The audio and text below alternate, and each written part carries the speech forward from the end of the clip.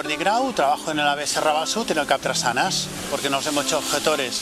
A ver, que consideramos que, que, probablemente el problema, cuando no han entrado en el país, no sea nuestro, ¿no? Sea un problema más de... Pero una vez los tenemos aquí dentro, el problema es nuestro. Y vamos que lo tengo clarísimo, ¿no?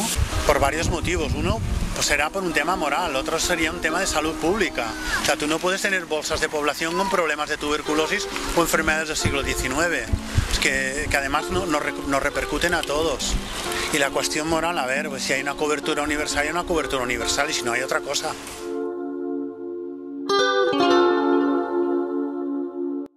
Esto es una opinión personal. Eh, bueno, colectivamente podría decirse que nace pues desde mm, la Grecia antigua, donde Hipócrates hizo eh, unas ciertas eh, premisas que, ahora todos los mm, cada, vez que, se acaba la carrera, todos los mm, futuros médicos juran, juran estas premisas que son, pues una de ellas atender a, a, todo el mundo sin, ver qué, pues, qué edad tiene, de dónde venga, cuáles son sus condiciones socioeconómicas. Pero cada uno puede tener su opinión personal con respecto al tema y la mía es, bueno, no un tema, no es porque haya jurado nada, es simplemente por, ética y por moral. Yo no podría, eh, no, puedo atender a una persona antes que a otra simplemente por, por su nivel adquisitivo ni... Eh, y bueno, simplemente creo que es lo justo. A mí me ha movido a hacerme objeción el estar trabajando con población inmigrante y eh, hasta ahora lo estoy haciendo de una manera igual, no, son papeles, una situación, una legalidad o legal, son personas que tienen unos problemas de salud y que esos problemas de salud tienen unas consecuencias en su vida e intento solucionar. Entonces, no puedo concebir que cuando venga una persona con un problema de salud, me da igual su situación legal o ilegal, su situación administrativa, en no curarle porque me he hecho médico para curar a las personas que tienen problemas.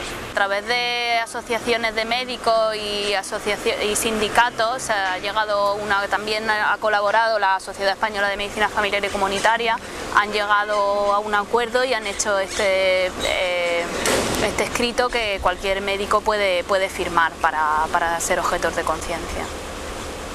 Es un trámite bastante sencillo, que está bastante facilitado. En todo el Estado español hay unos formularios que se rellenan, que lo bajas de internet y lo presentas en tu dirección del centro y a tu colegio de médico, de enfermera o en tu colegio donde estés tú trabajando. También puedes por internet, eh, hay una página web de una sociedad de medicina de familia que puedes dar tus datos, tu número colegiado y ellos presentan en tu comunidad la, la objeción de conciencia. Realmente el problema va a estar en el en el trámite administrativo de ir a pedir una cita o ir, que, es cuando esa persona, yo creo que va a ser con la que se va a ver con el dilema de decirle, mira, perdona, pero es que no, tienes tarjeta sanitaria y no me dejan eh, pues pedir cita con tu médico de cabecera o con el pediatra o, o con ginecología o con quien sea, ¿no? Pero si un médico dijera que no puede atenderlo por, la situación legal actual, pues bueno, yo le sugeriría pues que, pues que pensara en las consecuencias que esta persona puede, puede tener por, su no atención y, que, bueno, que se lo volviera a plantear. Aquí en Cataluña en concreto todavía no se ha establecido cómo se va a aplicar este Real Decreto que empieza dentro de unos 20-15 días. Todavía no está claro cómo van a atender a los inmigrantes. Entonces no sabemos cuáles son las normas administrativas que se van a aplicar.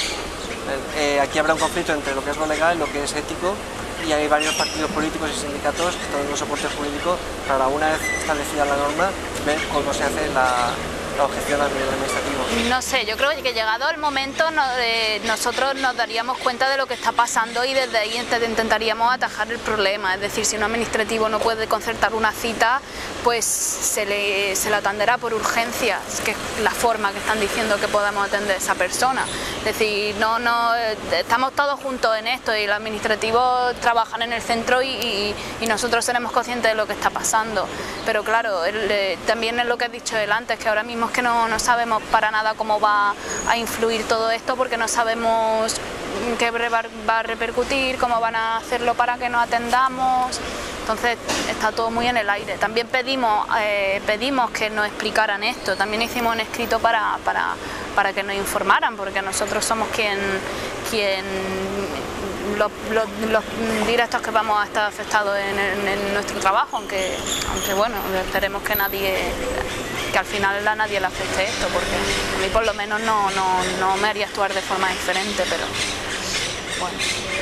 a nivel administrativo se encontrarán grietas. Ya en Madrid han hecho ya saben cómo se va a aplicar y han visto cómo pueden saltarse las barreras que se están poniendo administrativamente para poder, lo que hablamos, para que el administrativo pueda citar con ese médico. Eh, y aquí en, en, el resto del Estado hay mucha movilización, mucha organización de los trabajadores y se encontrarán en la grieta de manera que esto eh, se pueda saltar y la gente pueda ser atendida. Sí, realmente es preocupante porque bueno, el sistema de salud nacional de salud, que bajo mi punto de vista mm, es de los grandes logros que, hemos tenido en los últimos años, una, una base de cohesión, de cohesión social mm, impresionante, pues realmente está un poco, bueno, está un poco no, está en peligro y eso pues me parece un retroceso de los más graves que pueden pasar en, en bueno, desde el punto de vista de, la salud es gravísimo. No es solo un paso más de, hacer un negocio de, la, sanidad, ¿no? de la salud, la salud es una cosa tan imprescindible que la gente va a pagar por ello y es un bien muy codiciado que eh, es un punto de inflexión muy importante, es un punto crítico ahora, porque han ido recortando, privatizando, haciendo negocio, pero ahora han cambiado la, la, la característica principal de la salud que era universal, es un cambio cualitativo importante. Ahora no es privatizar más, sino de repente excluir a la...